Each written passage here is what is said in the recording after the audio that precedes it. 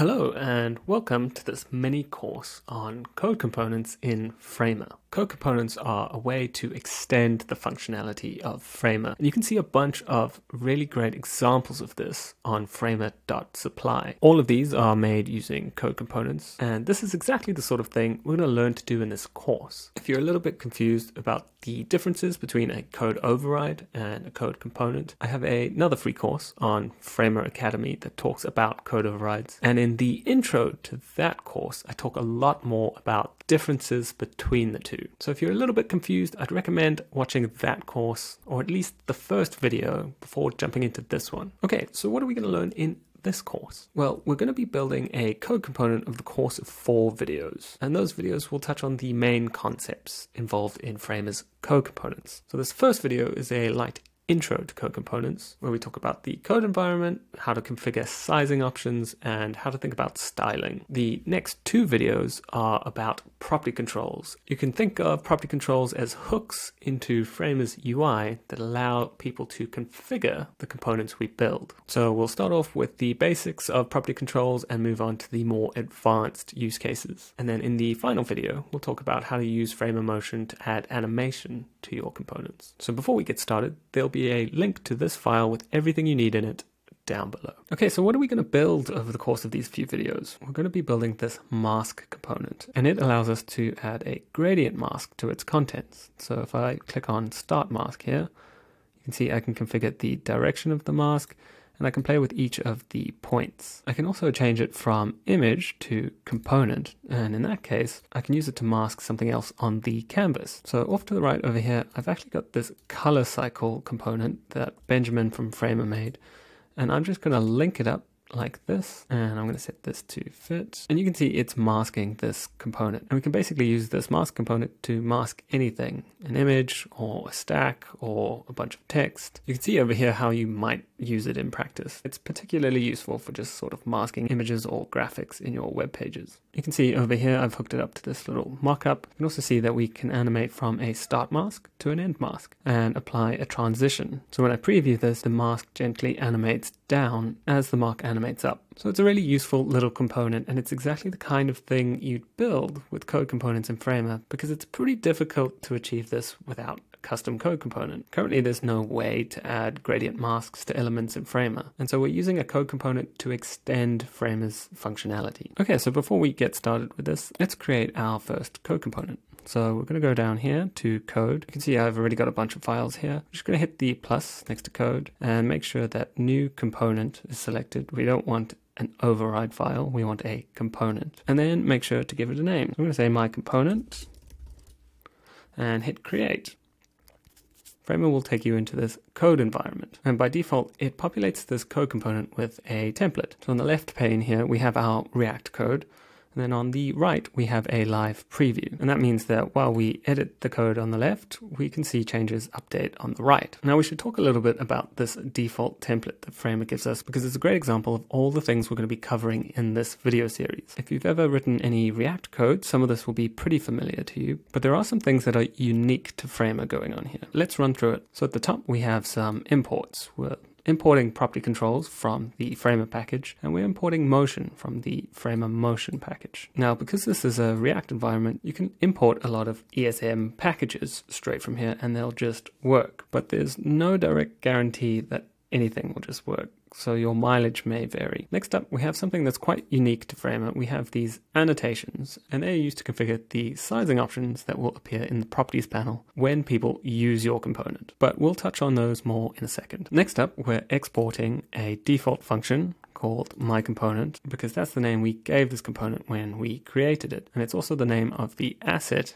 that will appear in your project component tree. Now, this is just a normal sort of React component that returns a div. But you can see that this is a motion div, which means it's a framer motion div. And this allows it to use these animate and while hover attributes that are specific to framer motion. After our component, we have the add property controls function, and the first argument is actually our component, and the second argument is an object with all the property controls we want to pass down to our component. So back on the canvas, if I just drag my component in here, you can see that there is one property control configured and it's called tint and it basically just allows us to control the color of the square. If we hit this edit code button, it'll take us straight back and we can see that tint is configured here as a property control. Now it's got a bunch of properties here, which we'll talk about in the next video. And last but not least, we have the box style, which is being spread into our div over here. And this is just where we're specifying the styles for box. Now, there are a few quirks to writing styles in a Framer code component, but we'll talk about that a little bit later in this video.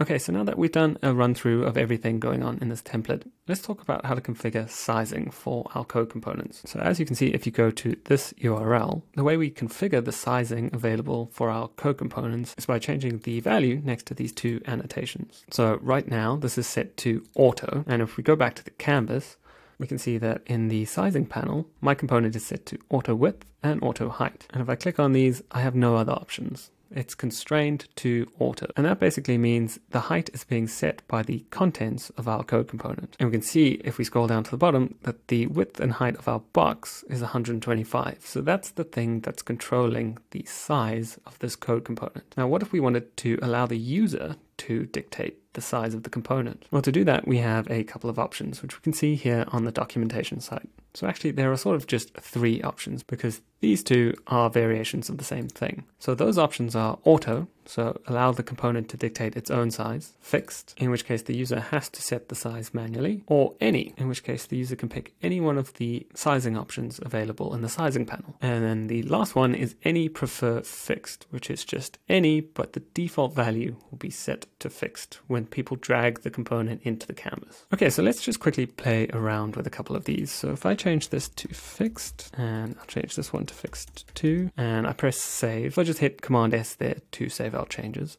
Go back to the canvas and let's drag in our component from scratch again. You can see that now it's defaulted to fixed and it has a default width and height of 200. Now, we might actually want to change this default value. Now, to do that, we just need to pop back to the documentation. If we scroll down a little bit, you can see that we can add two more annotations to specify the intrinsic size. So all we need to do is copy these over and head back to our component, and then we'll just copy them in here. And then I actually just want to change the order. So width is always first. Okay, so now let's change this value. So it's something like 400 and 100. And now when I go back to the canvas, and I add our component from scratch again, you can see that the intrinsic width, when it's set to fixed, is now 100 and the intrinsic height is now 400. Okay, so next up, let's try any. So if I just type in any over here to both width and height, press save and go back. Now when I drag in our component, you can see that it's set to auto by default, but when I click on these options, I can do sort of whatever I want. Okay, so the last option is basically the same, and it's just any prefer fixed.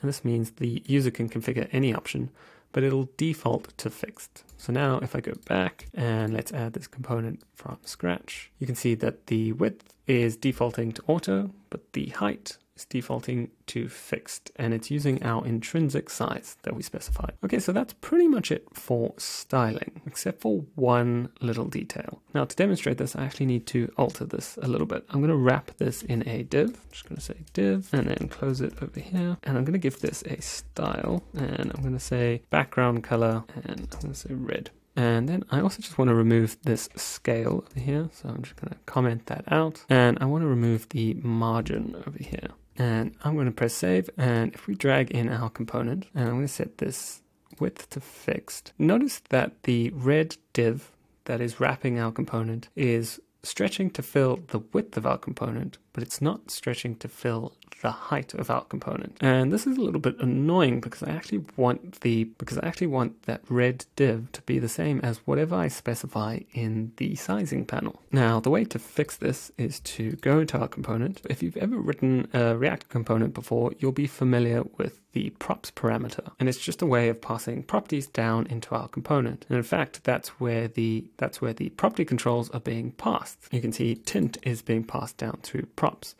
But Framer also passes down some styling information through this props object.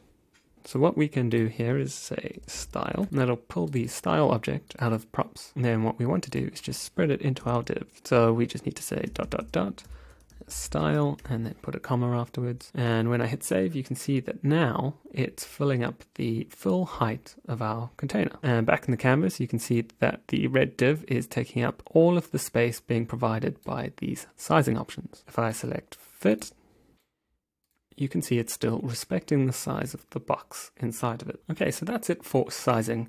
Next up, we need to talk about styling, because the way we write styles in a Framer code component is a little bit unique. You can see down here in this comment that we write styles in object syntax. And that basically means we're writing CSS but without the CSS syntax. And a perfect example of it is right here on this border radius. In vanilla CSS, you would write border radius like this with a dash in between and then you would specify the value, so you'd say 25 pixels, and you'd put a semicolon afterwards. But you can see that that's throwing an error, and that's because we need to write the styles as JavaScript objects. So whenever we have a CSS property, that would usually have a dash. What we do is remove the dash and then capitalize the next word. Uh, you can see the same sort of thing happening over here with background color, but you'll notice that this is still throwing an error. And that's because in object syntax, when we specify a value, it either has to be a number, like 25, and in this case, 25 will be interpreted as a pixel value by default, or we need to wrap this as a string, and then we can specify the unit like that. And then we just need to remove this semicolon over here,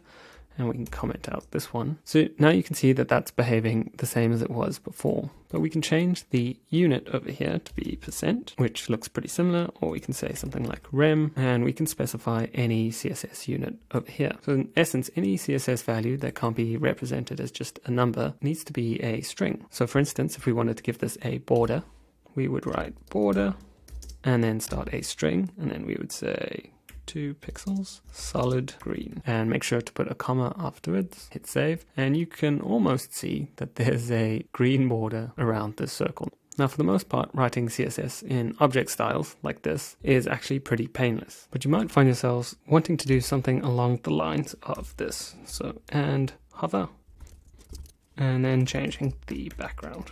Now, although that looks like it should work, you'll notice that when I hover over this, it definitely doesn't. And that's because one of the limitations of object syntax is that we can't easily write these pseudo selectors. Now, thankfully, we can use Framer motion to do something like while hover and then background red.